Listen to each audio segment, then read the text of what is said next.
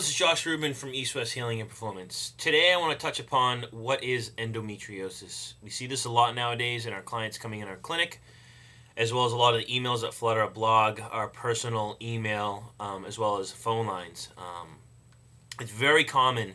Um, who knows where it comes from, but as long as we know what things or what stressors can actually um, participate in it, we can actually pull it pull each one back layer by layer and hopefully um, get the, the client closer to homeostasis or having balanced hormones, which is our goal.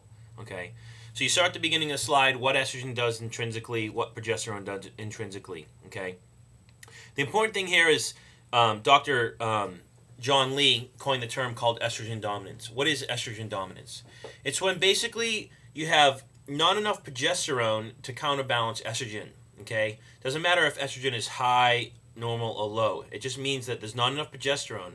Progesterone is low, basically, and it can't counterbalance the effects. So if you look at the past couple slides showing estrogen and progesterone, if you look at someone that would be estrogen dominant, you look at all those things that estrogen does, you can see why we have a lot of the symptoms, weight gain, bloating, headaches, cancers, um, and other diseases secondary to being estrogen dominant.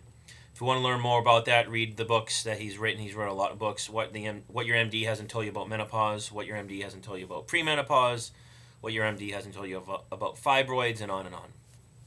So, what is endometriosis? Okay, the bottom line is endometriosis is when the um, endometrial lining somehow gets outside the uterus. Okay, and it actually goes into the pelvic area. It gets into the bladder um, it gets into the ovaries or on the ovaries and things like that.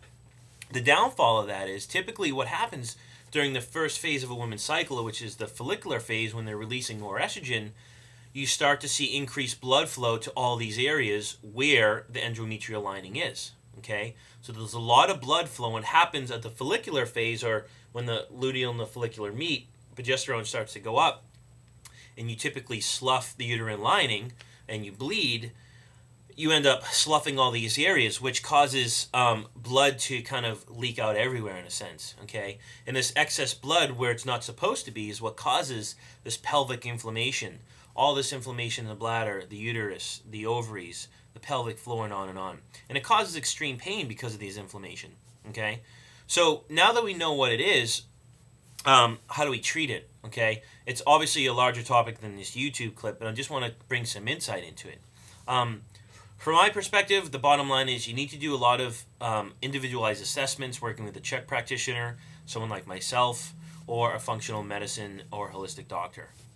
You need to do a lab to figure out what's going on with the hormones. My recommendation, depending on age, if someone's younger, you can do what's called the single progesterone lab through BioHealth. Uh, it's the um, 255 if someone's you know in their 20s or teens someone's a little older older i typically recommend a full hormone profile panel which is the 207 or 208 from biohealth. We do those here. It gives us a graph of what's going on with the hormones throughout their cycle and where they are if they're high normal or low okay? Then from, from there we can supplement. Typically we use supplements such as bioidentical progesterone and pregnenolone and dhea Dr. Lee typically recommends 30 to 50 milligrams per day. He's actually treated people with 80 milligrams. I haven't done that myself. I typically use a milligram based on the person and where their levels are. So that'd be my first recommendation. My second would be to take a look into what else is going on in your life. Um, if you're on the pill, the pill is designed to create an basically estrogen dominance because progesterone is pro gestation. It brings nutrients and oxygen to, oxygen to the fetus and estrogen actually pulls it away and asphyxiates the organs in fetus. So if you're estrogen dominant, you're not going to get pregnant. You could have a miscarriage, which is very common with women that are estrogen dominant. And if you're on the pill, this is one way or one thing that can facilitate endometriosis. Second thing is gluten. Gluten causes tons of widespread, widespread inflammation.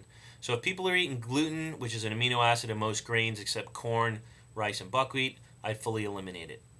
Third thing is does the client drink out of plastic water bottles, use Tupperware, um, and buy foods that are boxed, you know, in plastics? I'd eliminate those, as most of these plastics contain xenoestrogens, which mimic estrogen receptors and estrogen in the body, okay, which can actually make the estrogen dominance more and more and more, okay? The fourth thing is milk. you saw one of my clips, xanthine oxidase is, is actually produced from the pasteurization and homogenation process, which can cause irritation in the arteries and veins, which can cause widespread inflammation and cause more and more pain. So I definitely eliminate pasteurized milk and homogenized milk. Fourth, which a lot of people don't think about, is rough sex.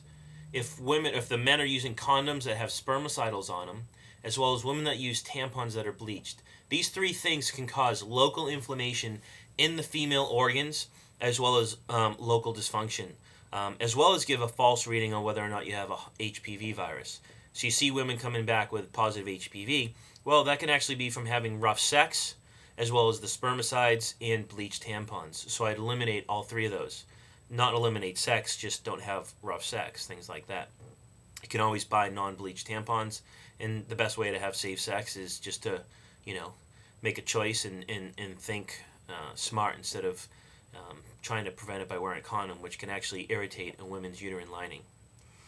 Um, you know, the other thing I do is besides supplementing with the bioidenticals, I typically supplement with with with um, what's called DIM, dindol methyl. It actually supports phase two detoxification in the liver.